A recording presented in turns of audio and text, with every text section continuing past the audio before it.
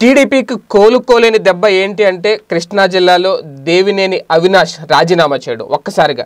ఎవరు ఊహించని పరిణామం అంటే తెలుగుదేశం పార్టీ నేతలు కూడా ఊహించి ఉండరు దేవినేని అవినాష్ రాజీనామా చేస్తాడని. దేవినేని అవినాష్ రాజీనామా చేయడంతో ఒక్కసారిగా తెలుగుదేశం పార్టీలో కుదుపైతే వచ్చింది. ఒక పక్క ఆయన నిరసన దీక్ష చేస్తుంటే మరో పక్క ఈ రాజీనామాల పర్వం. అదే టైంలో వంశీ కూడా ప్రెస్ మీట్ పెట్టి టీడీపీని ఏకిపారేయడం. ఓకే అది పక్కన పెడితే అసలు దేవినేని అవినాష్ ఎందుకు రాజీనామా చేయాల్సి వచ్చింది? దేవినేని అవినాష్ రాజీనామా వెనక ఉన్న బలమైన కారణాలు ఏంటి అని ఒక్కసారి ఆలోచిస్తే చాలా పెద్ద కారణాలే కనిపిస్తున్నాయి. ప్రధానంగా తెలుగుదేశం పార్టీ ఆయన పట్ల చేసిన తప్పిదం చాలా క్లియర్గా కృష్ణా జిల్లా ప్రజలకే కాదు యావత్ రాష్ట్రానికి క్లియర్గా అర్థమవుతుంది. వాస్తవానికి దేవినేని అవినాష్ గత ఎన్నికల్లో గుడివాడ నుంచి బరిలోకి దిగ దిగారు శాసనసభ సభ్యుడిగా తెలుగుదేశం పార్టీ తరపున. వాస్తవానికి ఆయన గుడివాడ నుంచి బరిలోకి దిగడం ఏమాత్రం దేవినేని అవినాష్కి ఇష్టం లేదు. కాకపోతే పార్టీ చెప్పింది కదా అధిష్టానం నిర్ణయాన్ని కాదనకూడదు పార్టీ అధినేత నిర్ణయాన్ని ధిక్కరించకూడదు అనే ఉద్దేశంతో ఆయన గుడివాడ కొడాలి నాని మీద వైఎస్ఆర్సీపీ అభ్యర్థి కొడాలి నానికి ప్రత్యర్థిగా ఆయన బరిలోకి దిగాడు.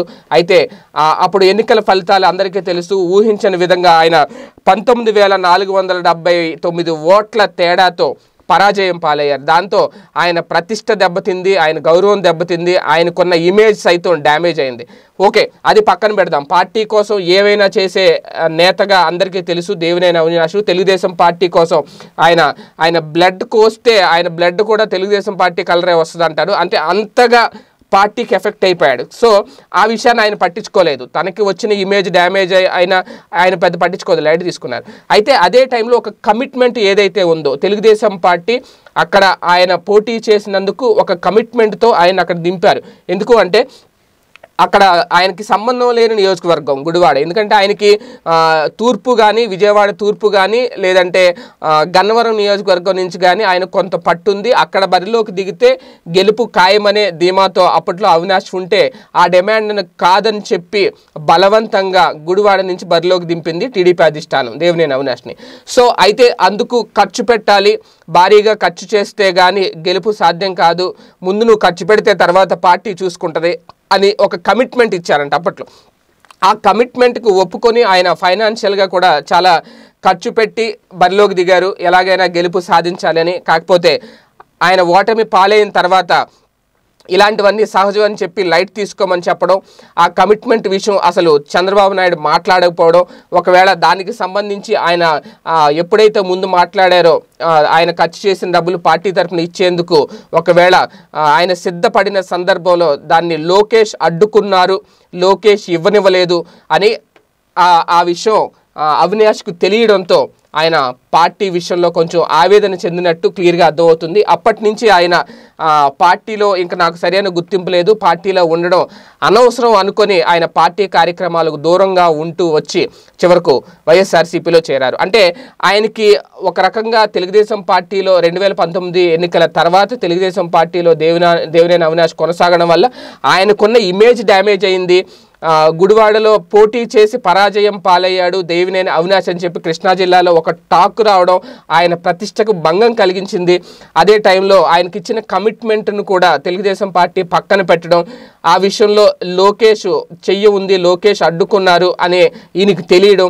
ఓవరాల్గా ఏంటంటే దేవినేని అవినాష్ పార్టీ మారడానికి మెయిన్ ఆయన వెనకున్న బలం బలగం. అంటే ఆయన వెంటున్న ఆయన కింది స్థాయి ఆయన కింద ఉన్న కార్యకర్తలు కానీ వీళ్ళందరూ కూడా దేవినేని అవినాష్కు జరిగిన అన్యాయాన్ని తలుచుకొని ఈ పార్టీలో ఉండడం కరెక్ట్ కాదు మనం పార్టీ మారిపోవాలని సలహా ఇవ్వడంతో ఆ సలహాను ఆయన స్వీకరించి ఇంకా ఆయన కూడా ఆలోచించుకొని తనకు ఎంత డ్యామేజ్ జరిగింది ఈ పార్టీలో ఇంకా ఉంటే తన రాజకీయ భవిష్యత్తుకి మరింత డ్యామేజ్ జరిగే అవకాశం ఉంది. నేను పార్టీలో ఉండడం కరెక్ట్ కాదు అనే ఉద్దేశంతో ఆయన పార్టీకి రాజీనామా చేసి జగన్ గారి వెంట నడిచేందుకు సిద్ధమయ్యారు. జగన్ గారి ఆధ్వర్యంలో ఆయన వైఎస్ఆర్సీపీ కండువా కప్పుకున్నారు.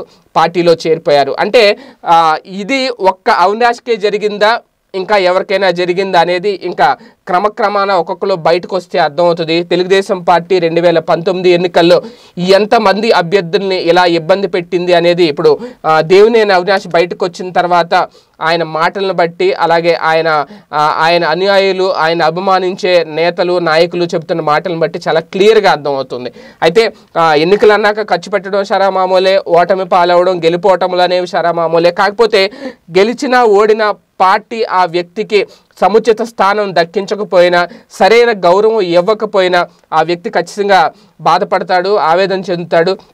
ఇప్పుడు తెలుగుదేశం పార్టీ నుంచి బయటకు వస్తున్న నేతల పరిస్థితి అదే విధంగా ఉంది. అందుకే దేవినేని అవినాష్ ఒకప్పుడు తెలుగుదేశం పార్టీకి ఎంతో వినయ విధేయుడిగా ఉన్న తెలుగుదేశం పార్టీ తరపున తెలుగుదేశం పార్టీ అన్న చంద్రబాబు అన్న ఎంతో ఇష్టంతో ఉన్న దేవినేని అవినాష్ ఒక్కసారిగా గుడ్ బై చెప్పడం నిజంగా ఆ, పార్టీకే కాదు తెలుగుదేశం పార్టీకే కాదు యావత్ రాష్ట్రం కూడా ఒక్కసారిగా షాక్తుంది కాకపోతే వెనకాల బిహైండ్ ద రీజన్ ఏంటి అని తెలుసుకున్న తర్వాత దేవినేని అవినా- అవినాష్ మీద సింపతి పెరిగిందే తప్ప ఆయన రాజీనామా చేయడం సరైనది కాదు అని అయితే ఏ ఒక్కరూ చెప్పట్లేదు.